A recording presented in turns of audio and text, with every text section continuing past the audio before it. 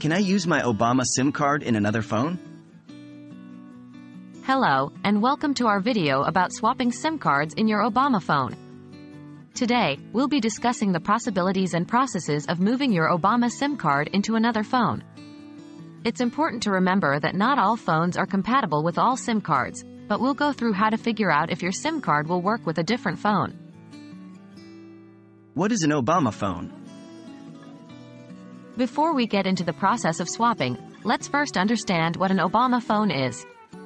The Obama phone is a colloquial term for the Lifeline program, which is a U.S. federal program that provides a discount on phone service for qualifying low-income consumers. It got its nickname from President Barack Obama, under whose administration the program was expanded to include cell phones. The SIM card provided with this service contains your unique subscriber information.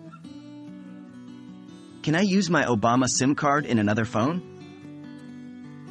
The quick answer to this is yes, you can, but there are some conditions. The most crucial factor is that the new phone must be compatible with the network of your Obama SIM card. For instance, if your Obama phone is on a GSM network, like AT&T or T-Mobile, the phone you want to switch to must also support GSM. If your Obama phone uses CDMA, like Verizon or Sprint, the new phone should support CDMA. Some phones are designed to support both types of networks. How to move your SIM card? If your new phone is compatible with the network of your Obama SIM card, here's how you move it. 1. Power off both phones.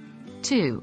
Find the SIM card slot in your Obama phone. It could be on the side of the phone, or you might need to remove the back cover and battery. 3. Carefully remove the SIM card and note how it was inserted. 4.